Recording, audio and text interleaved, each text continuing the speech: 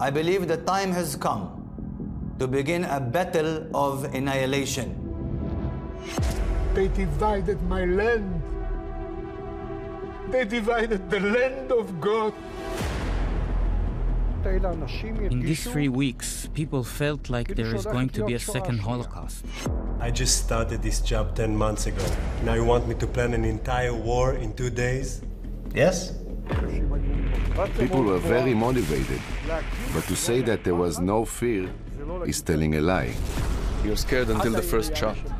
The minute the first shot is being fired, you're bent on completing your mission.